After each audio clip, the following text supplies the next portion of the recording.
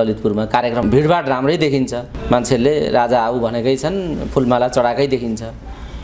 राजाप्रतिको आकर्षण र धमिलो पानीमा माछा मार्ने कुराको आरोप उनीमाथि जो छ यसलाई कसरी हेर्नुहुन्छ? राजाको सवारीमा भिडम्बाडको कुरा हो। राजालाई उनको भिजिटलाई लिएर उनको दाहिने देब्रे भ्रमण लिएर कोही पनि आत्तिनु पर्दैन कोही पनि आतङ्कित हुनु पर्दैन केही पनि हुँदैन। र केही हुन आँट्यो भने हामीले रोकेर फेरि रोकिँदैन। काङ्ग्रेसमाथि जाइ लाग्ने कुरा गरेको हो भनेदेखि त्यसले चाहिँ नेपालको अहिलेको राजनीतिको रुझानलाई देखाउँछ र सदनमै उभिएर स्वीकारे उनले। स्वीकारिरहेको तपाईँहरू जस्तो।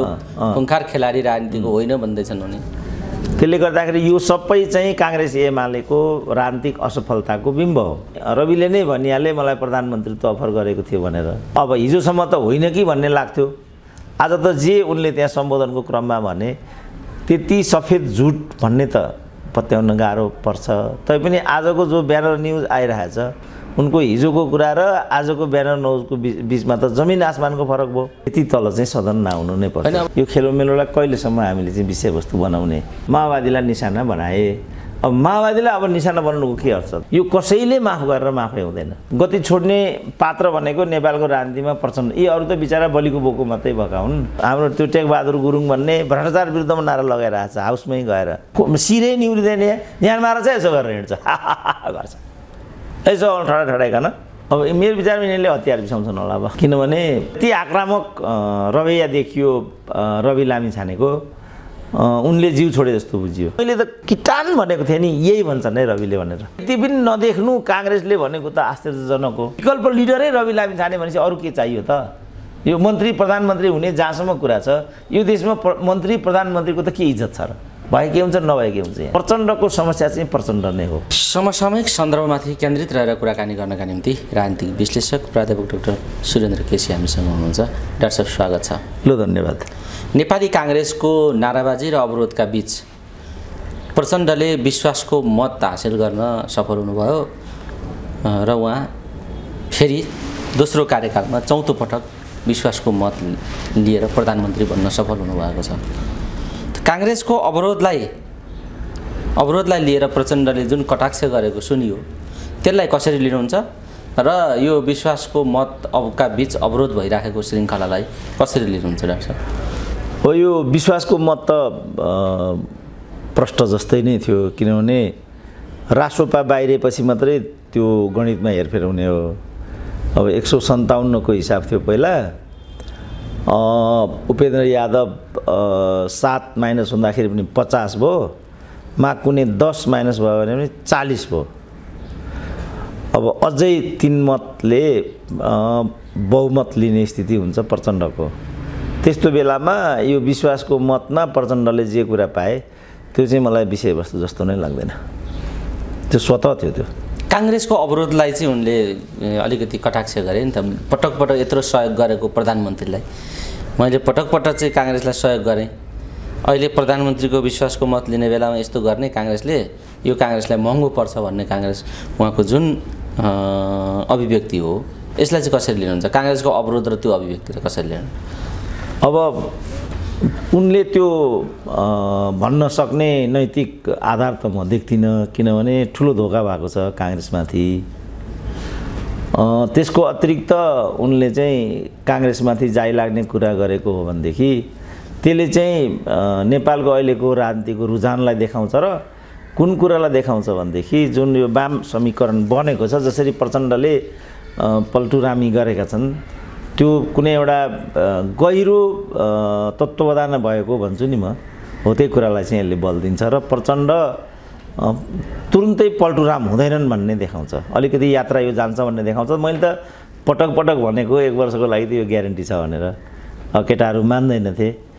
अब के भन्छन् उनीहरूले? मेरो लागि त सब कुरा केही अनौठो छैन। रस रासोपै बाहिर भने चाहिँ विषयवस्तु हुन्छ। त्यही त माकुने लाचार भए त।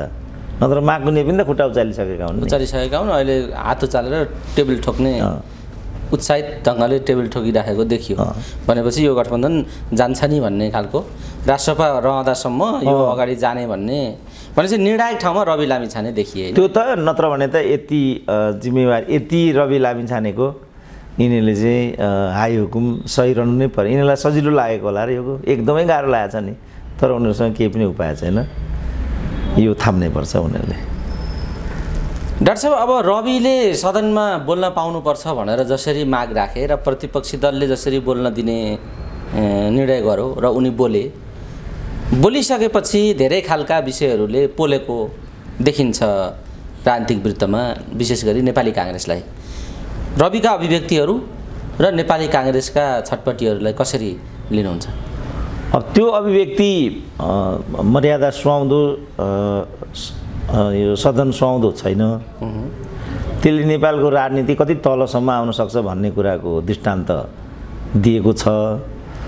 तर मैले चाहिँ भनेको कुरा के भने यस प्रकारले चाहिँ जोर जबस्ती गर्नु उचित हुँदैन।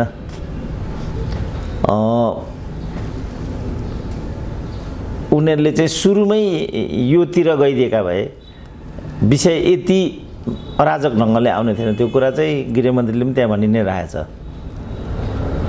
तर यी नै कुरा आउँछन् भन्ने चाहिँ मैले अघिल्ला अन्तर्वार्ताहरूमा चाहिँ जनै भनिदिएको छु। यो गऱ्यो भने यो कुरा आउँछ यो कुरा आउँछ यो कुरा आउँछ। मैले उल्लेखै गरेर भनेको छु। त्यही त्यही आयो। त्यही त्यही आइरहेछ। किनभने रविसँग त अरू एजेन्डै थिएन। उनको त यो रवि त आफै कुनै सैद्धान्तिक मान्छे पनि होइनन्। यो दल कुनै वैचारिक आधारमा बनेको पनि होइन यसको कुनै लामो इतिहास पनि छैन। उनले त स्वीकारेका पनि छन्। उनले सदनमै उभिएर स्वीकारे उनले। स्वीकारिरहेको तपाईँहरू। जस्तो। खुङ्खार खेलाडी राजनीतिको होइन भन्दैछन् उनी। त्यसले गर्दाखेरि यो सबै चाहिँ काङ्ग्रेस एमालेको राजनीतिक असफलताको बिम्ब हो। मैले अनेकचोटि भनिसकेँ नेपालको राजनीति यता चार वर्ष बिग्रिएको छ भनेदेखि त्यसको मुख्य जिम्मेवार भनेको चाहिँ काङ्ग्रेसै हो। उसले चाहिँ एमालेभित्र हात हालेर कुनेलाई शिखण्डी बनाएर प्रतिपक्षमा बस भनेको पार्टी सत्तामा प्रधानमन्त्री चलाएर प्रचण्डलाई प्रधानमन्त्रीत्व नदिएर अनि उनले बहुमत पाइसकेपछि एमाले विरुद्ध ढोक्सा थापेर जे जति हरकत गर्यो ती सबै गलत थिए। र त्यसको दोष चाहिँ पछिसम्म काङ्ग्रेसले बिहोर्नुपर्छ म भन्थेँ। अब साथीहरू मान्दै मानेनन्। अब अब त के भन्न सक्छौँ र हामी? यसमा कुनै त्यस्तो न ओलीको कुनै त्यस्तो ढिङ्गिनाइ छ न प्रचण्डको त्यस्तो कुनै कुरा छ। अब जहाँसम्म रविको कुरा छ रविमाथि चाहिँ रविले नै भनिहाले मलाई प्रधानमन्त्रीत्व अफर गरेको थियो भनेर। अब हिजोसम्म त होइन कि भन्ने लाग्थ्यो। आज त जे उनले त्यहाँ सम्बोधनको क्रममा भने त्यति सफेद झुट भन्ने त पत्याउन गाह्रो पर्छ। तैपनि आजको जो ब्यानर न्युज आइरहेछ उनको हिजोको कुरा र आजको ब्यानर न्युजको बिच बिचमा त जमिन आसमानको फरक भयो। अब यसपछि त विश्वासको यत्रो ठुलो सङ्कट आइलाग्यो नेपाली समाजमा नेपाली राजनीतिमा। त्यसलाई केले पुर्ताल गर्ने हो त्यो म बुझ्नै सक्दिनँ। अब अहिले कान्तिपुरमा आएको कुरा त्यो फेक हो भनेदेखि त त्यो फेक न्युज त्यो रूपमा बाहिर ल्याउने त कारवाहीको दायरामा आउनुपर्ने हो।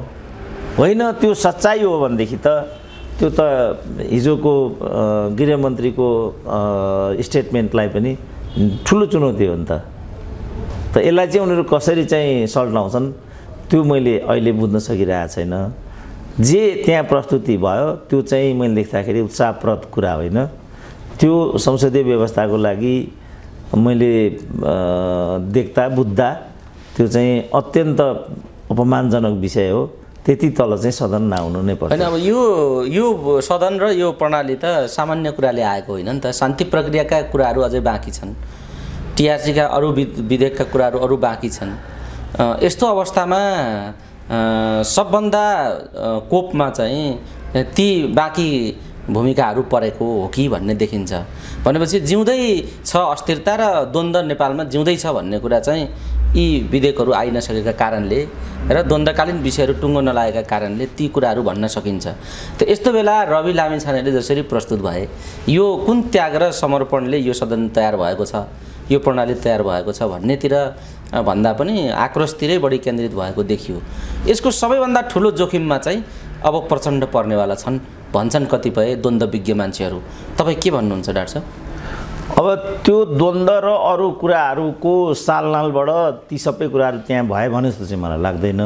किनभने यो सिधै सत्तासँग सम्बन्धित छ र प्रतिपक्षले चाहिँ सहकारीलाई विषय बनाएको छ।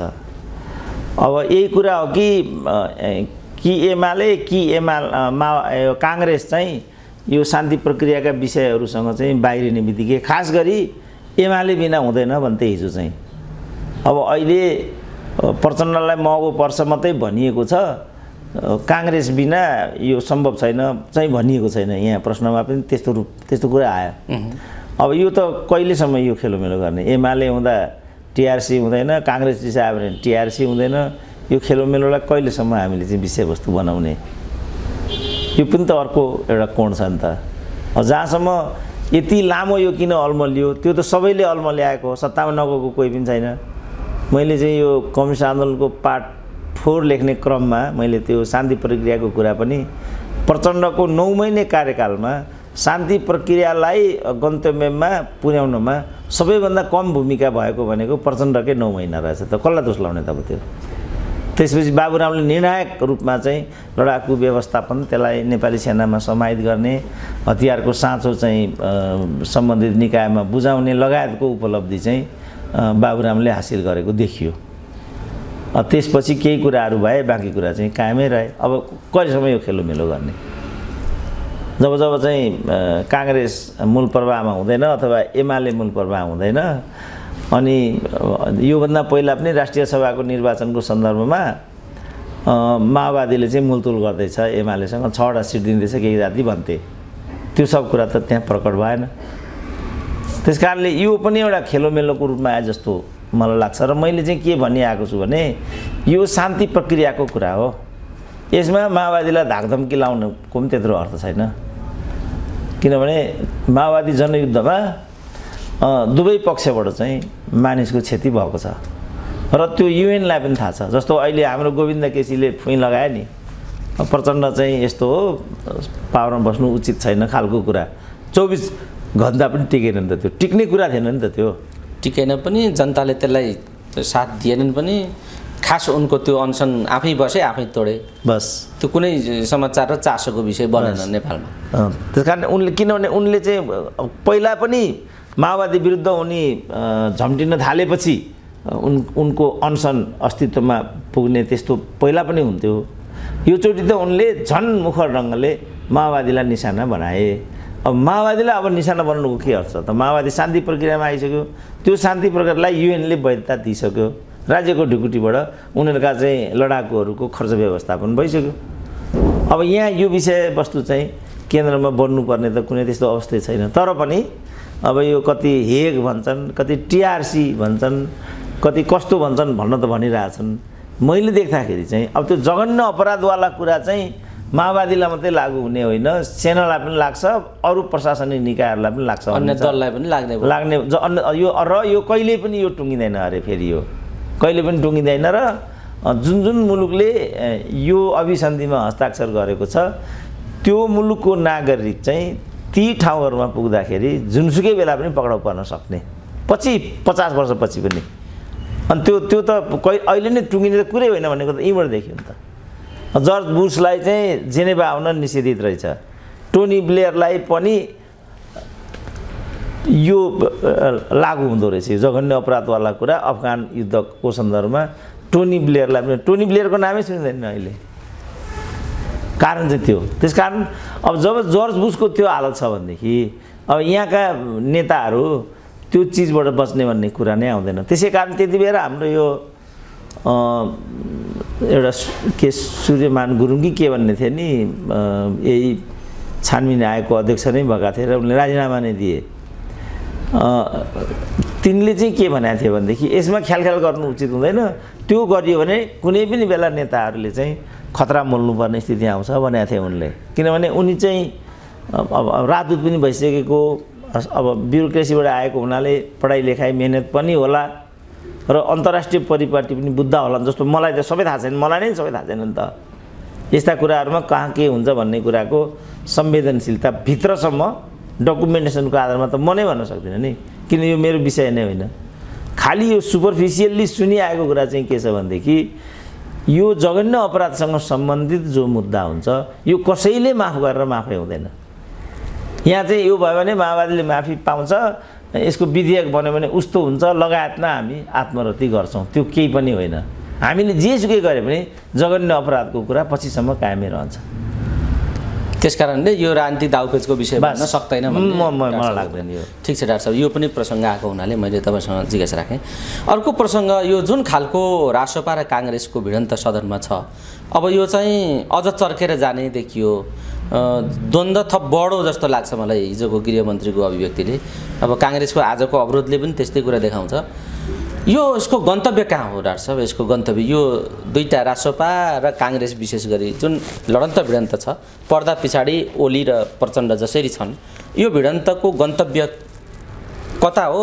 के का लागि हो यो भिडन्तको निष्कर्ष गन्तव्य कता जानु होइन यो त पदका लागि भन्ने कुरा प्रष्टै छ।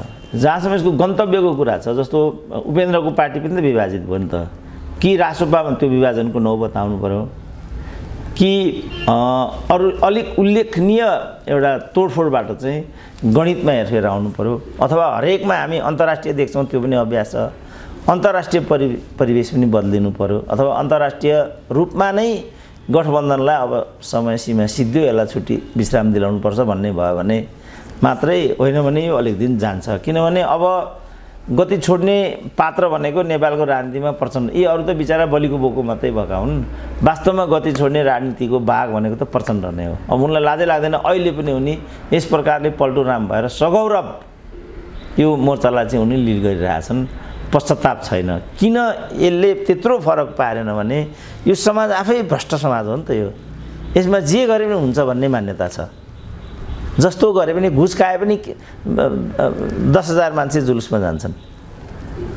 अब ऊ हाम्रो त्यो टेकबहादुर गुरुङ भन्ने भ्रष्टाचार विरुद्धमा नारा लगाइरहेको छ हाउसमै गएर। त्यस्ता मान्छेलाई त ऊ एउटा आउँछ नि आजभोलि सोसियल मिडियामा दुईजना मेल फिमेलको झगडामा हस्बेन्ड वाइफको झगडामा। श्रीमतीले हात छोड्छे हात छोडेपछि तपाईँले किन हात छोडेको? भन्दा ती महिलाले के भन्छन् भनेदेखि यो मान्छे किन हाँसिरहेछ त? अनि किन हाँस्नु हुँदैन त? कसरी हाँस्नुहुन्छ? मलाई रुवाएर यो हाँस्ने। भनेर पड्काइरहेको हुन्छ। अब भनेपछि अब यहाँ त किनभने अब ऊ ऊ रुवाइरहेको हुन्छ अर्को स्वाइन लिएर हिँडिरहेको हुन्छ लज्जा हुँदै छैन। घुस खाइरहेको हुन्छ सारा कुरा गरिरहेछ केही फरकै पर्दैन। को सिरै निउरिँदैन यहाँ। मार चाहिँ यसो गरेर हिँड्छ। गर्छ। यसो ठडा ठडाइकन रुद्राक्षको त्यो त्यो सानो माला साला लाउँछ। यसरी उल्टो गर्छ। किनभने समाजै त्यस्तै छ। जे गरे नि हुन्छ। कसैले काम पनि गर्नु पर्दैन। होइन? यो यहाँको चाहिँ हिजैदेखि कुनै कुरामा पनि रोकटोक छैन। त फलस्वरूप हाम्रा राष्ट्रियताका पूर्वाधारहरू यावत कुराहरू चाहिँ हाम्रा बलिया हुन सकेनन्। किनभने सबै मान्छे डबल स्ट्यान्डर्ड छ यो देशको। र सबैको भाग्य र भविष्य यही देश हो भन्ने मनोभावना छैन। अलिक दिन गर्छु कमाउँछु। अब छोराछोरी त पहिले उसले पठाइसकेको हुन्छ। अनि त्यो बाटोबाट चाहिँ क्रमशः पुँजी पलायन भइराखेको हुन्छ। यहीँ लुटलाट धुद्धात पारेर उता घर्किन पायो हुन्थ्यो भन्ने मनोविज्ञानले काम गरिरहेको हुन्छ त्यो एउटा पौडेल भन्ने केटो अस्ति पक्राउ परेन दस करोड कि बिस करोड भनेर कहाँ कति यो पैसा चाहिँ उहाँ स्विजर सिङ्गापुरमा बुझेको कहाँ अमेरिकामा फ्ल्याट भएको भनेको जेलमै पसिरहेको छ त त्यो। मैले चाहिँ एउटा उद्यमी ठुलो उद्यमीसँग तिन दिन अगाडि भेटेको थिएँ। उनले के भन्थे भने यस्तो हेरेसमेन्ट हामीलाई गरिरहेछ यो सरकारले। हाम्रो एक मात्र लक्ष्य चाहिँ यहाँबाट बाहिर जाने र आफ्नो सम्पत्ति जोगाउने भन्ने बाहेक अर्को छैन उनले भन्थे। किनभने लगानी सम्मेलनको कुरा चलिरहेको थियो। यिनीहरू लगानी सम्मेलनको कुरा गरिरहेछन्। हाम्रै उद्यमीहरू चाहिँ भाग्रे भएको छ। अरुण चौधरीलाई थुनिरहेछ वसन्त चौधरी बोलिरहेछन् मिनबहादुरलाई थुनिराखेको छ हाम्रो यो दुर्गा पर्साई आछु आछु छन्। अनि लगानीको वातावरण कहाँ छ त यहाँ? हाम्रै साहुहरू चाहिँ तोबा तोबा छन् त यहाँ। त त्यस्तो बेलामा हाम्रो परिवेशले पनि हामी चाहिँ विकल्पको सोचाइमा छौँ। र राष्ट्रको नीति पनि कसरी चाहिँ यो सब कुरालाई यिनै धानेर राख्न सकिन्छ?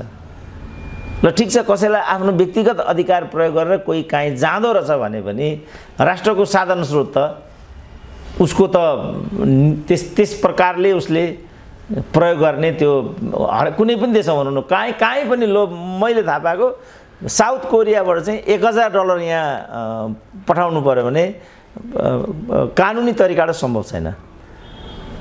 त्यो पैसा त्यहाँबाट हङकङ पठाउनु पर्दो रहेछ। हङकङ। हङकङबाट यहाँ आउँदो रहेछ। होइन भने चाहिँ हुन्डीबाट कारोबार गर्नु पऱ्यो हुन्डी भनेको त त्यति राम्रो हो जस्तो लाग्दैन मलाई। कडा किन बोल्नु? किनभने बेइमानहरूको देशमा बसेर बेकारमा हुन्डी कारोबारीलाई किन चिड्याउनु? यस्तो छ क्या हाम्रो। डाक्टर साहब अब यो यस्तो बिच सदनभित्रै सबै नाङ्गेको अवस्था छ। रविले जसरी आफू संलग्न छैन घोटालामा भनेर प्रष्टीकरण दिन खोजे आजको ब्यानर न्युजले त्यो कुरालाई खण्डन गरेको छ। यसको जवाफ कसरी खोज्ने कहाँ खोज्ने छानबिन समिति पनि बनाउने भन्ने कुरा छ त्यो कसरी त्यसले आफ्ना दायराहरू बनाउँछ र छानबिन गर्छ त्यो अर्कै कुरा भयो। तर मेरो खोजिस् भने तेरो पनि खोज्ने मलाई नङ्ग्याइस् भने तँलाई पनि नङ्ग्याउने। मलाई चाहिँ अदल बदल गरिस् भने तेरो पनि खैरात छैन। भन्ने खालको बाहेक अर्को उन्नत खालको दृष्टिकोण त देखिएन सदनमा पनि। अब के हुन्छ तपाईँको विचारमा? अब सायद अ, मुलमुलाई हुन्छ कि यसमा अब लडन्त भिडन्तै गरेर एक्लै अर्कालाई सिद्ध्याउने यदुवंशी तरिकै अगाडि जान्छ तपाईँको विचार? अब मेरो विचारमा यिनीहरूले हतियार बिसाउँछन् होला अब। किनभने ती आक्रामक रवैया देखियो रवि लामी छानेको उनले जिउ छोडे जस्तो बुझियो। मलाई त केही फरक पर्दैन। जिरोमा आए पनि म जिरोबाट हुँ मलाई केही फरक पर्दैन। त्यस कारणले यी कुराहरूमा जस्तो साह्रै तल तलका कुराहरू आयो नि त। आए ते त्यस कुराबाट काङ्ग्रेसका गगन थापाहरू आत्तिएको पनि देखियो। हतार हतार उनले पत्रकार सम्मेलन गरेर अरू अरू अन्ठसन्ठ भन्न पनि भ्याए फेरि। अब त्यसले गर्दा सायद यो चिजले चाहिँ मेरो विचारमा विश्राम लिन्छ होला अब। किनभने जति यसो गरियो त्यति नै वामपन्थी शक्तिको वर्चस्व बढ्ने जस्तो त्यहाँ पनि हिजो गगन थापाले पत्रकार सम्मेलनमा भने हामी चाहिँ डेमोक्रेटिक फोर्ससँग एलायन्सको पक्षमा छौँ। डेमोक्रेटिकल्ली पनि सोचौँ भनेर चाहिँ एउटा थर्ड आई भ्यू पनि त्यहाँ दिन खोजेको भन्ने कुरा आइरहेछ। किनभने अप्ठ्यारो त लगाइरहेछ रविहरूलाई वामपन्थीसँग सहकार्य गरेर अगाडि हिँड्ने विषयमा। सजिलो त उनीहरूलाई लागिरहेको छैन। अब प्रधानमन्त्री अफर गरेको हदमा पनि रवि लामी छानेहरूले त्यो पद किन अब उपेक्षा गरे त्यो पनि अनौठो नै छ। किनभने प्रधानमन्त्री पाएको खण्डमा त यिनीहरूले पार्टी नै फुटाइहाल्छन् नि। त्यति बेर चाहिँ गिरिजाप्रसाद कोइरालाकै समयमा बैसठी त्रिसठी आन्दोलनको मुखमा चाहिँ तारानाथ राणाभाटलाई तौलिएका थिए नि त राजाले। र लास्टमा उनले के भने भनेदेखि सभामुखबाट राजीनामा देऊ सभामुखबाट राजीनामा देऊ भनेदेखि तिमीलाई प्रधानमन्त्री बनाइदिन्छु भनेर छ ज्ञानेन्द्रले। अब तारानाथ राणाभाट चाहिँ ज्ञानेन्द्रलाई चिन्थे कि क्या हो? उनको अडानबाट मलाई त्यस्तो लाग्यो। अनि सभामुख पदबाट उनले राजीनामा दिएनन्। सुनेअनुसार चाहिँ गिर्जा पनि यसमा सँगसँगै थिए। तिमीले राजीनामा दिनु पर्दैन भनेको हुनाले नै उनी चाहिँ राजाको कित्तामा जस्तो हुन गयो पछि जब आन्दोलन सफल भयो आन्दोलन सफल भएपछि तारानाथ असान्दर्भिक भए गिर्जाहरू अगाडि बढेर राजनीति यो बाटोमा आइपुग्यो। त अब यो सब त भइराखेको हुन्छ चलि नै राखेको हुन्छ। त्यसो भएको हुनाले यहाँभन्दा अगाडि यो चार पाँच दिनमा जे जति सदनमा देखिए हरकतहरू। सायद काङ्ग्रेसले नै मूल्याङ्कन किनभने मैले त किटान भनेको थिएँ नि यही भन्छन् है रविले भनेर। किनभने योभन्दा अरू उनीसँग भन्नको थिएन लागि। सामग्री नै थिएन नि। थिएन। उन उनीमाथिको जुन खालको प्रहार हो त्यसले पनि यो हुन्छ भन्ने कुरा देखाउँथ्यो। अब यति पनि नदेख्नु काङ्ग्रेसले भनेको त आश्चर्यजनक हो। यो रवि भन्नेबाट केही नै हुँदैन। अहिलेको सत्ता समीकरण देश यसलाई ह्याकुलाले मिचेर गइन्छ भन्ने जुन सोचाइ काङ्ग्रेसले राख्यो। त्यो उपयुक्त थिएन भन्ने कुरा समयले पनि सिद्ध गर्यो होइन? अब मैले चाहिँ के सुरुदेखि मैले जे वानदेखि भनेको छु नि त यो गलत हुन्छ है। अब हामी जस्तो साधारण मान्छेले आकलन गर्न सकेको कुरा उनीहरूले आकलन गर्न नसक्नु त अचम्म हो नि त। त्यस कारण अहिले पनि उनीहरूले चाहिँ संयमित हुनु र जे जति प्रश्न उठे यति तुच्छ प्रश्न उठे होइन? त्यो भन्दा पनि मलाई असजिलो लाग्छ क्या। फल्नाको छोराको फल्नो घडी यति मूल्यको। मैले पहिल्यै भनेको थिएँ बाबु तिमीले यो कुरा उठायो भनेदेखि यसरी रियाक्सन आउँछ है। अब रवि लामी छानेकै हकमा नि मैले पहिल्यै के भनेको भनेदेखि तिमीले नीति मात्रै दिने है तिमीले। नीति मात्रै तिमी त एउटा विकल्प लिडर हो भन्ने कुरा त छोटै समयमा इस्टाब्लिस भयो। अब भइहालेपछि त अब विकल्प लिडरै रवि लामी छाने भनेपछि अरू के चाहियो त? यो मन्त्री प्रधानमन्त्री हुने जहाँसम्म कुरा छ यो देशमा प्र मन्त्री प्रधानमन्त्रीको त के इज्जत छ र? भए के हुन्छ नभए के हुन्छ यहाँ? त्यसको त त्यत्रो विषयवस्तु केही पनि हुँदैन। त्यस कारण मैले के भनेको भनेदेखि तिमी पावरमा जाने कुराबाट भन्दा पनि नीति पठाउने कुरामा केन्द्रित हुनु। अब मानेनन् अब नमानेपछि भुत ल्याइदिए अहिले ल्याएर। जति गफ गरे पनि उनलाई पनि नाङ्गो बुदुङ्गो बनाइदिएका छन्। आजको जुन पत्रिकाको ब्यानर न्युजको कुरा छ त्यो ब्यानर न्युजले चाहिँ के त्यसलाई क्वालिफाईको माग गर्छ? यदि त्यो गलत हो भने त्यस्तो गर्नै पाइँदैन। मिसलिडिङ हो नि त त्यो क्राइम हो नि त फेरि। त्यो गलत हो भने। सही गलत के हो? तर सरकारी कार्यालयमा भएको डकुमेन्ट हो त्यो। अब सही हो। कम्पनी- रजिस्ट्रारको कार्यालयमा भएका डकुमेन्टहरू हुन् ती। होइन यहाँ त नागरिक चाहिँ नक्कली बोकेर हिँड्छन्। त्यस्तो भयो नि त हाम्रो देश। यो दूतावास इत्यादिले हामीलाई हेप्ने कारण त्यो हो नि त। एकैछिनको लागि ब्याङ्कमा चाहिँ एक करोड रुपियाँ ब्यालेन्स गरिदिने बिस हजार रुपियाँ गोजीमा हाल्ने ब्याज। अनि त्यहाँ काम हुने बित्तिकै फनक फर्काएर त्यो पैसा फेरि पुरानो ठाउँमा ल्याइदिने। अनि मार्कसिट पनि सक्कली नक्कली त्यस्तो गरिदिने। डाक्टरहरू पाइलटहरू नै नक्कली हुने। यस्तो भइदियो नि त। अब यस्तो बेलामा अब भरोसा के भने यस्तो हरकत चाहिँ जनरलाइज भयो क्या हाम्रो देशमा। ए त भइरहन्छ नि भन्ने खालको। त्यसले अब भनौँ न त त्यो त अहिले त त्यहाँ त सबभन्दा पहिला यो बारेमा के हो भन्ने कुरामा जाँच पडताल हुनुपर्ने कुरा हो नि त। अब त्यहाँ बोल्नै सक्ने स्थिति कसैको पनि भएन। अब बोलौँ बोलौँ जो बोल्छ त्यसैलाई चाहिँ भोलि विषय बनाएर चाहिँ मिडिया ट्रायल भइहाल्छ। यो क्या हो त? भन्छ एउटा फोटो निकालिदिइहाल्छ। अब योगेश भट्टराईलाई त्यो स्वागत गर्न आएकी एक- एकजना युवतीको तस्बिरबाट ओह्रालो लागेको अहिलेसम्म योगेश भट्टराईलाई टाउको उठाउने स्थिति बनेन। खालि त्यहाँबाट सुरु भएको थियो त्यो। यसो अब गरे रहेछ अनि यो के हो भनेर एउटाले फेरि अब त्यो पनि प्रायोजित थियो कि के थियो? मन्त्रीको यो चाला के हो भन्दै अर्काले फेरि। अब त्यो त्यो के हो भन्दा न भन्दै उनको चाहिँ पाँच वर्ष बितेर गयो। धन्न उनको ठुलो टाउको रहेछ ताप्लोसँग फेरि निर्वाचित भएर आए। होइन भनेदेखि राजनीति नै दाउमा थियो उनको। त्यस्तो हुन्छ यहाँ अहिले अनि। भनेपछि यो सिङ नफुकालिकन टुङ्गिन्छ यो अब विषय। मेरो विचारमा अब यो टुङ्गिनु पर्ने हो किनभने यसको गन्तव्य केही पनि छैन। अब यसलाई चाहिँ कतिपय चाहिँ के भन्छन् भने कि गगनको कि रविको एउटाको सिङ खुस्किनै पऱ्यो नभए चाहिँ यो अगाडि जान्छ भन्ने पनि कतिपयको आशंका भनौँ चिन्ता भनौँ त्यो खालको देखिन्छ यो गतिविधि अहिलेको सदनभित्रको भनाभन हेर्दा। कतिपय अब तपाईँले भन्नुभयो यो अब बिसाउँछन् हतियार केटाहरूले। किनभने सबै यति हुनु थियो भइसक्यो। अब रहर पुग्यो सबैले बिसाउँछन् भन्ने तपाईँको विश्लेषण रह्यो। तर अब काङ्ग्रेसको आजको अवरोधलाई लिएर चाहिँ सदनमा अझै तिक्तता व्यक्त हुन्छ कि भन्ने नै देखिन्छ नि होइन डाक्टर त्यो अपरिपक्वता काङ्ग्रेसको अर्थै थिएन नि। सरकारको विश्वासको मतमा चाहिँ हिजो सुन्ने सुनाउने अस्ति राष्ट्रपति आउँदाखेरि पनि सुन्ने धन्यवाद हुन नदिने सबै अपरिपक्व भएन त्यस कारण क्रोनोलोजिकल काङ्ग्रेसको चाहिँ यसमा फेलियर छ किन यसमा फेलियर छ भनेदेखि यसको जुन मूल नेतृत्व हो त्यो अकर्मण्य छ मूल नेतृत्वले यसलाई ठ्याक्क उभिएर धारा प्रवाह विचार राखेपछि यस्ता कुराहरू स्वतः चाहिँ निस्किएर भइहाल्छन् नि जस्तो एक लाइन मात्रै बोलेको होइन अस्ति एमालेको कार्यक्रममा गोदावरीमा शेरबहादुर देउपाले तिमीहरूले चाहिँ यत्रो पावरमा बस्यो किन मदन भण्डारीको हत्यारा पत्ता नलगाएको भनेपछि कसरी पिटे त शेर त्यति हो बोलेको त। त्यस कारणले माथिल्लो नेताको चाहिँ शब्दमा त्यस्तो वेट हुन्छ त्यस्तो तौल हुन्छ शब्दमा। अब पर अहिले के हाम्रो शेरबहादुर अहिलेसम्म पनि त्यहाँ खोइ के उनको अनुहारै देखिँदैन उनको बोली त सुनिएकै छैन। त्यसपछि युवाहरूले जे प्रयास गरे त्यति भ्याए त्यति नै गरे। के भन्ने भयो अब त्यो चाहिँ मैले देख्दाखेरि निकै गेन गरेको छ गगन थापाले।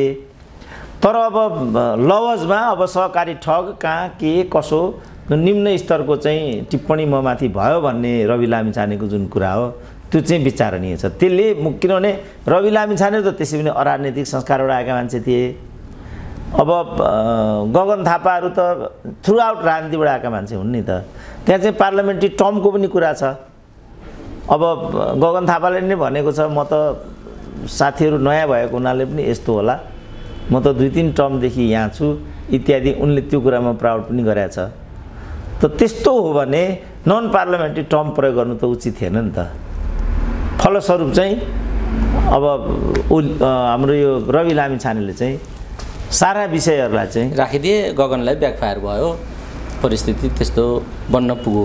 अब डाक्टर साहब यो बिसाउँदा चाहिँ पनि त प्रक्रिया चाहिने भयो अब। यता छानबिन समितिको यत्रो रोइलो गर्यो काङ्ग्रेसले। उता अब त्यसका दायरा क्राइटेरिया कस्तो बनाउने भन्ने कुरा सहमति हुन सकिराखेको छैन। अब काङ्ग्रेसलाई पनि त यो जुगाको लडाइँ एउटा नैतिक प्रश्न जस्तो खडा भएको स्थिति छ। यसको समाधान चाहिँ कसरी निकाल्नु? छानबिन समिति त गठित हुन्छ। छानबिन छानबिन समिति गठित हुन्छ। खालि स्पेसिफिक कुरामा जाने कि जनरल कुरामा जाने भन्नेमा हिजो विवाद हो। अब यो छानबिन समिति गठित गठित हुन्छ र जनार्दनका पालामा जसरी यो एम अधिकारी र जनार्दनको काण्डको बिचमा चाहिँ मोलमोलाइ भएर चाहिँ फिजल आउट हो। यसमा पनि त्यसो भने ठिकै छ नि त यसमा यस्तो भएको रहेछ। सहकारीमा प्रशस्त चुनौतीहरू देखिए यस जसरी पनि चाहिँ बचतकर्तालाई पनि अन्याय नहोस् यसरी जानुपर्छ भन्ने टिओआर बन्छ। र यो यो बाटो लाग्छ सदन चल्छ बजेट पारित हुन्छ तल्लो भत्ता खान्छन् केटाहरूले त्यही नै मैले त पहिल्यै भनेको नि केही नै हुँदैन भनेर। यो यत्रो बबन्डर भयो तर यसले निकास चाहिँ यसरी पाउने भयो? बस किनभने यो मूल नगरी निकास निकास। किनभने यो यो विषय मूल्य मान्यता आदर्शसँग सम्बन्धित झगडा थिएन नि त। यो त खालि लेनदेन खानपिनसँग सम्बन्धित यो झगडा थियो। लेनदेन खानपिनको जो विषय हुन्छ त्यसको नियति जहिले पनि यस्तै हुन्छ। वैचारिक कुरा सैद्धान्तिक कुरा भयो भने त कसैले पनि कम्प्रोमाइज गर्न सक्छ किन विचारले उसलाई कम्प्रोमाइज गर्न दिँदैन नि? जस्तो अब कुनै एउटा सन्त छ अब त्यो एरियामा चाहिँ उसले पशु बलि गर्न दिन्न भन्ने एउटा अभियान लिएर आयो। अब पशु बलिमा कम्प्रोमाइज गर्न त उसले त सक्दैन नि त। मासु मांस खानुपर्छ। सन्तहरूले पनि भिक्षुहरूले पनि मासु मांस खानुपर्छ भन्ने शर्त त्यहाँ आयो भने त। उसले जेसुकै खप्छ तर त्यहाँ त उसले सही गर्दैन नि। किन उसको त मान्यताको कुरा हो त्यो। अब यहाँका राजनीतिक दलहरू कोही पनि मान्यतामा छैनन्। यहाँका राजनीतिक दलहरू राजतन्त्र हटाउने प्रश्नमा चाहिँ सम्झौताहीन लडेर आए। बाँकी कुरामा उनीहरूको केही पनि प्रतिबद्धता देखिँदैन। उनीहरूलाई सत्ता भए पुग्छ। जोसँग गठबन्धन गरे पनि उनीहरूलाई अप्ठ्यारो हुँदैन। अब काङ्ग्रेस र माओवादीको बिचमा त कुनै बाधा व्यवधान रहेन भनेदेखि माओवादी र मधेसवादीको बिचमा गठबन्धनलाई समस्या भएन भनेदेखि अब यहाँ कसको बिचमा के व्यवधान छ र केही पनि किन यस्तो छ त भन्दाखेरि यहाँ काहीँ पनि सिद्धान्तले काम गरिरहेको छैन। विचारले काम गरिरहेको छैन। देश र जनताले पनि काम गरिरहेको छैन। म आफै छक्क परेँ। उपेन्द्र यादवले चाहिँ त्यो मसँग टकमा भनेको थिएँ। त्यसो भने त्यो मिटिङमा चाहिँ तिमीहरू के कुरा गर्छौ त भनेर सोद्धाखेरि मेरो बिस बाइस वर्षको अनुभवमा उच्च स्तरमा म बिस बाइस वर्षदेखि आबद्ध छु। कहिल्यै पनि नीतिगत र देश जनता सम्बन्धमा विचार विमर्श विचार छलफल आदान प्रदान भएको मलाई थाहा छैन भनेको छ उनले। खालि कसरी समीकरण बनाउने को मन्त्री हुने कसले गृह पाउने को विदेश जाने को राजदूत हुने विषयवस्तु यति हो। कसले ठेका पाउने कसले पट्टा पाउने जिएमआर के हुने अप्पर कर्णालीको यो महाकाली सन्धि हुने कि नहुने यो डिपिआर कहिले बन्ने हुँदैन फेरि? अहिले जिएमआरकै यो अप्पर यो अप्पर कर्णालीको जिएमआर राईसँग सम्झौता भएको अहिले सत्र वर्ष भइसकेन। त्यसको डिपिआर अहिले पनि बनाएको छैन। यो के हुन्छ भन्ने पनि हुँदैन। युटिएलले राजस्व तिर्न बाँकी छ त्यो दिने कि नदिने भन्ने पनि हुँदैन। एनसेलको अब जस्तो एनसेलको कति बवन्डर गरे त यिनीहरूले? त्यसपछि के भयो त एनसेल? कहाँ छ त्यो एनसेल भन्ने अहिले? त्यो एनसेलको मुद्दा उठाउनेहरू कहाँ छन् अहिले? हो त्यस्तो हुन्छ यहाँ। डाक्टर साहब यो प्रसङ्गमा नि अलिकति मलाई पुरानोतिर फर्केर जिज्ञासा राख्न मन लाग्यो। डाक्टर साहबले जतिखेर देशमा माओवादीको जगजगी थियो दुई हजार अडसट्ठी अगाडि छेउछाउ। त्यसबेला एउटा टिप्पणी गर्नुभएको रहेछ दिशानिर्देश भन्ने कार्यक्रम। विजय कुमार पाण्डेसँग। त्यहाँ चाहिँ माओवादीको समस्या प्र- प्रचण्डको प्रसङ्ग आउँदाखेरि प्रचण्ड नै प्रचण्डका लागि समस्या हुन्। प्रचण्ड आफै नै प्रचण्डको समस्या हो भन्ने टिप विश्लेषण गर्नुभएको रहेछ तपाईँले। ठ्याक्कै आज फर्केर हेर्दा प्रचण्ड नै प्रचण्डको आफ्नो समस्या हो भन्ने तपाईँको त्यो बेलाको विश्लेषण। अहिले आएर कतिको सान्दर्भिक लाग्छ? विगतका आफ्ना कुराहरूलाई फर्केर कतिको हेर्ने गर्नुभएको छ? अब म धेरै त हेर्दिनँ विगत फर्केर तर जति समय बित्दै गयो त्यति वस्तुनिष्ठ विज्ञानसम्मत व्याख्या विवेचना गर्नेतर्फ चाहिँ म क्रमशः अग्रसर हुँदै गएको। खास गरी पूर्वाग्रहबाट मुक्त रहेर अनि सामाजिक न्यायको कुरा र एउटा समधर्मितालाई चाहिँ उच्च प्राथमिकता दिने वक्ताको रूपमा म आफूलाई पाउँदै गएको छु। क्या र यसको सर्वस्वीकार्यता पनि त्यही तादात्म भएकोले पनि त्यही कुरालाई नै बताउँछ। किनभने मान्छे त सेक्टेरियन हुन्छ यहाँ त होइन? अब रवि लामिन छानेलाई समर्थन गर्ने हो कि विरोध गर्ने हो? माओवादीलाई समर्थन गर्ने हो कि विरोध गर्ने हो? प्रशंसा गर्ने हो कि घृणा गर्ने हो? काङ्ग्रेस भनेको भारतको दलाल हो। यस्ता स्कुलिङबाट आयो नि त हामी त। अब माओवादी भनेको आतङ्ककारी हुन्। यिनीहरूलाई कुटेर पिटेर सिध्याउनुपर्छ यो स्कुल अफ थट थियो नि त हाम्रो त हिजो। यस्तो कुराबाट म चाहिँ एकदम सेफ देख्छु। किनभने यो गलत रहेछ भन्ने मैले बुझेँ। जुन दिन मैले यो कुरा बुझेँ त्यसपछि म यस्तो कुरै गर्न छोडेँ। त्यसकारण त्यहाँ मैले त्यो पैँसठीतिरको रहेछ त्यो स्टेटमेन्ट। त्यति बेर चाहिँ मैले अलिकति बिम्बात्मक तरिकाले त्यो कुरा भनेको रहेछु। यो मलाई लिङ्क आएपछि के अर्थले नै आएको होला भनेर मैले पनि हेरेँ त्यो। हेर्दाखेरि अब माओवादीको त प्रचण्डको त डबल अहिले पनि डबल स्ट्यान्डर्ड हो उनको। इन्टायरली नेपाली कम्युनिस्टहरू कम्युनिस्ट होइनन्। तर उनीहरूले आफूलाई कम्युनिस्ट हुँ भन्नु परेको छ। अब कम्युनिस्ट हुँ भन्नु परेको छ होइन। भनेपछि कसरी सिद्ध गर्ने कसरी आचरण गर्ने त? अब माओवादी त झन् प्रचण्ड त झन् सबैभन्दा एउटा मिलिटेन्ट कम्युनिस्ट लिडरको रूपमा उदय भइराखेका थिए। त्यसलाई कसरी मेन्टेन गर्ने त? त्यो सम्भव थिएन। त्यसपछि उनलाई उनै चुनौती हुन्छन् भन्ने तर्क चाहिँ त्यो थियो। त्यो त्यस्तो अहिले कस्तो पाउनुहुन्छ? प्रचण्डको अहिलेको चुनौती र तपाईँले त्यस बेला गरेको चुनौती? अब अहिले उनी अहिलेसम्म एउटा भ्रम दिन चाहिँ सफल भएको देखिन्छ। अहिले पनि उनी जस्तो जुन उनको जुन यो पल्टु राम जुन यही यही बिचमा हेर्नु न उनको पल पल्टुबाजी। त्यो पल्टुबाजी सामान्यतः हामी गर्न सक्दैनौँ नि त्यस्तो। केपी ओलीसँग सहकार्य भन्ने कुरा मान्छेले कल्पनै गर्न सक्दैन नि त। त अद्भुत छ नि त। त्यसलाई कहाँसम्म चाहिँ खेलोमेलो गर्न सकिन्छ त? त्यसको पनि त सेचुरेसन पोइन्ट त एउटा होला नि त। अनन्तकालसम्म त मान्छेले मान्छेलाई मूर्ख बनाउन सक्छ अरे क्या।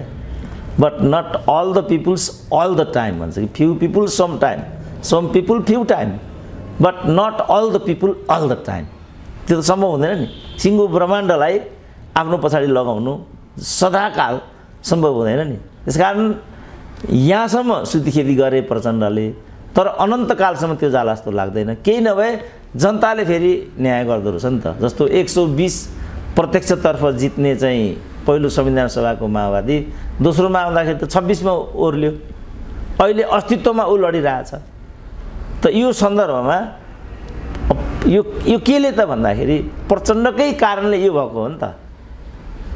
त्यस कारण मैले भनेको प्रचण्डको समस्या चाहिँ प्रचण्ड नै हो। त्यो सिद्ध भयो अहिले। त्यो त्यो सिद्ध हुँदै गयो। सिद्धतिर त्यो गइराखेको म पाउँछु। ठिक छ डाक्टर कतिको फर्केर हेर्नुहुन्छ भने मैले पनि देखेको थिएँ र मैले तपाईँलाई यो जिज्ञासा राखेको। यो वास्तवमा रोचक थियो त्यस बेला त्यस बेला त्यो टिप्पणी एकदम कटु सुनिए तापनि यसको भविष्य चाहिँ कस्तो होला भनेर धेरैले हेरिराख्दा प्रचण्ड आज आइपुग्दा कस्तो लाग्छ तपाईँलाई त्यो टिप्पणीसँग भन्ने मैले जिज्ञासा राखेको। जाँदै जाँदै जे खालको परिस्थिति राजनीतिमा संसदमा संसद बाहिर सडकमा नागरिक तहमा जस्ता खालका प्रश्न वितृष्णा मुठभेड यी सबै कुराहरू देखा परेका छन्। ठिक यही बेला राजा ज्ञानेन्द्र फेरि गतिविधि केही गर्ने हो कि मन्दिर दर्शन गर्ने हो कि मान्छेसँग भेट्ने हो कि भनेर सानोतिनो कार्यक्रम बनाउन थालेको झल्को आइराखेको छ। यसलाई कसरी लिनुहुन्छ? यो धमिलो पानीमा माछा मार्ने खेलोमेलो हो। ज्ञानेन्द्रका विगतका विज्ञप्तिहरू हेर्दा उनीभित्र सत्ताको भूत सवार छ आदि प्रश्नहरू पनि उठेका छन्। उनी जब जब यता यस्तो हुन्छ तब तब एउटा दर्शन गर्ने अर्को के गर्ने भाषण गर्ने यस्तो कार्यक्रम बनाइहाल्नुहुन्छ उहाँ पनि। त्यसो भन्नेहरूलाई यस्ता गतिविधिले दम त्यो बल पुर्याएको पनि देखिन्छ। डाक्टर साहब के भन्नुहुन्छ? राजा ज्ञानेन्द्र अहिले ललितपुर भक्तपुर आदि इत्यादि फेरि सुरु गर्नुभएको छ। आज पनि उहाँको ललितपुरमा कार्यक्रम भिडभाड राम्रै देखिन्छ। मान्छेले राजा आऊ भनेकै छन् फुलमाला चढाएकै देखिन्छ। राजाप्रतिको आकर्षण र धमिलो पानीमा माछा मार्ने कुराको आरोप उनीमाथि जो छ यसलाई कसरी हेर्नुहुन्छ? अब राजाले यो व्यक्तिगत एउटा नागरिक अधिकार प्रयोग गरेको रूपमा यसलाई लिनुपर्छ भनेको छु मैले। अब उनी कहीँ जाँदैमा आत्तिनुपर्ने कुरा आतङ्कित हुनुपर्ने कुरा केही पनि हुँदैन। जहाँसम्म राजतन्त्र सम्बन्धी प्रश्न छ यो चाहिँ चारवटा विधिबाट मात्रै सम्भव छ अन्यथा सम्भव छैन मैले भनिआएको छु होइन? कि प्रतिनिधित्वको बाटो आउनु पऱ्यो कि सैनिक टेकओभर हुनु पऱ्यो होइन? प्रतिनिधित्वको बाटो त इलाममा देखिगयो नि। अब हो अब अब त्यस्तो छ स्थिति। अब त्यहाँ फर्काउनेहरूको प्रतिनिधित्वको बाटो कस्तो हो। भन्ने कुरा इलामले बताइसक्यो। बस कि चाहिँ ताजा रिजल्ट हो र अब- मैले अब। चारवटा मैले भनेको छु कि प्रतिनिधित्वको बाटो कि आम विद्रोहको पाट पाटो बाटो कि सैनिक विद्रोहको पाटो कि चाहिँ विदेशी हस्तक्षेपको पाटो। पाँचौँ कारणले कुनै पनि राजतन्त्र नेपालमा आउँदैन। त्यस कारण अब दुर्गा पर्साई भन्छन् नि त। म चाहिँ पूर्व गएँ भने राजा पश्चिममा आउँछन्। अनि म पश्चिम गएँ भने राजा पूर्व जान्छन् भनेर भन्छन् नि होइन? अहिले पनि त्यस्तै भयो। अहिले पनि भव्य कार्यक्रम गर्दैछन् राजा ललितपुरमा लागे ठ्याक्कै त्यस्तो देखिन्छ। अब उनीहरूका बिचमा पनि राजाको कुरा गर्नेहरूको बिचमा पनि एउटा मिनिमम कार्यगत एकता भए त्यसले पनि एउटा दबाब सिर्जना गर्न सक्ने सम्भावना आकलन गर्न सकिन्छ। अब मैले सुनेको इलाममा कमल थापाको पार्टीले चाहिँ बयालिस भोट ल्यायो अरे। एउटा सिङ्गो चुनाव क्षेत्रमा। राप्रपाले साढे चार सय। जबकि तेइस महिना अगाडि गठित भएको रासोपाले दस हजार भोट ल्यायो अब भनेपछि प्रतिनिधित्वको बाटो त सम्भव रहेनछ भन्ने यसलाई रुझान मान्ने हो भने देखिन्छ। जहाँसम्म राजाको सवारीमा भिडमभाडको कुरा हो माओवादीले त्यति बेर चाहिँ यो जनरल स्ट्याक गरेको थियो राजाको चाहिँ गतिविधि मोरङमा भइरहेको थियो। अ, गाडी गुडी सबै बन्द हुँदाखेरि पनि मान्छे धनकुटादेखि लर्को लागेर पनि राजालाई भेट्न चाहिँ आइरहेको थिए। जनरल स्ट्राइक हुँदा पनि त्यस्तो थियो भनेपछि अब तर ती मानिसले चाहिँ आफ्नो एउटा राजभक्ति मात्रै देखाएको जस्तो देखिन्छ त्यो चाहिँ राजनीतिक शक्तिको रूपमा रूपान्तरित हुने जस्तो समयले देखाउँदैन। त्यस कारणले राजालाई उनको भिजिटलाई लिएर उनको दाहिने देब्रे भ्रमण लिएर कोही पनि आत्तिनु पर्दैन कोही पनि आतङ्कित हुनु पर्दैन केही पनि हुँदैन। र केही हुन आँट्यो भने हामीले रोकेर फेरि रोकिँदैन। जस्तो जनविद्रोह हुन आँट्यो कसैले रोकेर रोकिन्छ त? त्यो रोकिँदैन। विदेशी इसारा हस्तक्षेप भयो भने हामीले रोकेर रोकिन्छ त? त्यो रोकिँदैन। अब प्रतिनिधित्वको बाटो जस्तो रवि लामी छानेलाई यिनीहरूले यो ठाउँमा हेर्न चाहेका हुन् र यिनीहरूले रोकेर रोके यिनीहरूले हेर्न नचाहँदा रोकिँदो रहेनछ नि त। प्रतिनिधित्वको बाटो आए। सत्ताको चाबी आफ्नो हातमा छ। त्यहाँबाट रवि बाहिरिने बित्तिकै प्रचण्डको सरकार ढलिहाल्छ। त्यस कारणले प्रतिनिधित्वको बाटो भन्ने थियो जस्तो मानिलिउँ भोलि चाहिँ यसरी नै मानिलिउँ चालिसजना पचासजनाको प्रतिनिधित्व राप्रपाको भयो मानिलिउँ त्यहाँ। जिउ जिउ गर्नु परेन। हरेक कुरामा अडङ्ग हालिदिन्छ उसले। बिसले त यति खेलायो भने पचासले के होला त भोलि? अर्को कुराबाट नेपालमा राजतन्त्रको कुनै सम्भावना छैन कोही पनि आत्तिनु पर्दैन डराउनु पर्दैन। लोकतन्त्रको सुन्दरता के हो भने राजादेखि रङ्कसम्म सबैलाई त्यसमा चाहिँ स्पेस हुन्छ। त्यसमा हामीले त्यस्तो आपत्ति मान्ने त्यतातिर सोच्नु हुँदैन किन यो लोकतन्त्रको सुन्दरता हो। बगैँचामा फुलेको फुलको सुन्दरता सबैले भोग गर्छन् होइन त्यस्तै हो प्रजातन्त्र भनेको। यसमा सबैलाई स्पेस हुन्छ राजालाई पनि छ। डाक्टर साहब हामी अन्तिम चरणमा छौँ कुराकानीको। समग्र परिस्थिति जे छ तपाईँ आम नागरिकलाई चाहिँ के भन्न चाहनुहुन्छ? जुन रमिता सदनदेखि बाहिरसम्म छ नेताहरूको आरोप प्रत्यारोप पनि अब यो के हो के हो भन्ने कुरा थियो। अब गृहमन्त्रीकै तहबाट सबैका परिचयहरू पनि बाहिर आए। गृहमन्त्रीमाथि पनि आफ्नै खालको प्रश्न छ। खेदो गर्नेहरूको नियोजित खेदो पनि होला। समर्थन गर्नेहरूको अन्धभक्ति पनि होला। तर उनीमाथि जुन प्रश्नहरू उठेका छन् जवाब दिनुपर्ने ठाउँमा उनी अझै पनि छँदैछन् जस्तो लाग्छ। अब यी समग्र विषयहरू हेरिरहेका नागरिकहरूले चाहिँ कस्तो धारणा बनाउनु पर्छ होइन अन्धभक्ति त थियो। मलाई हिजो चाहिँ स्विजरल्यान्डबाट साथीको फोन आइरहेको थियो। डाक्टर साहब अब यो रवि लामी छानेले चाहिँ का सांसद एकजनाले चाहिँ हामी ल हिम्मत छ तिमीहरूको भने हामी यसमा निर्दोष छौँ। तेइसैजना राजीनामा दिन तयार छौँ। तिमीहरू तयार हौ। राजनीति छोड्न पनि तयार छौँ। रवि लामी जाने मात्रै होइन। हामी समूह नै राजनीति छोड्न पनि तयार छौँ भनेकोलाई कोट गर्दै त्यति कुरा त त्यसै भए नभएको हुनुपर्ने। त्यस कारण डाक्टर साहबले चाहिँ अब यो गोपी हमाल अ, हाम्रो यो हर्क साम्पाङ यहाँको बालेन शाह र रवि लामी छाने इत्यादिको बिचमा चाहिँ एउटा सहकार्यको वातावरण बनाउनेतर्फ बोल्नु पऱ्यो र आउने समयमा चाहिँ कसरी यसमा चाहिँ सक्रिय हुन सकिन्छ त्यतातिर सोच्नु पऱ्यो यो यो नै अहिलेको सही बाटो हो भन्ने कुरा चाहिँ त्यहाँ आइरहेको थियो। अब बिहान कान्तिपुर पल्टाउँदाखेरि त फेरि डरलाग्दो फेरि त्यहाँ त डकुमेन्टेसन छ। त्यस कारण मैले रवि लामिछानेलाई पटक पटक के भन्ने गरेको छु भनेदेखि यसमा मिसलिड गर्नु पाइँदैन है।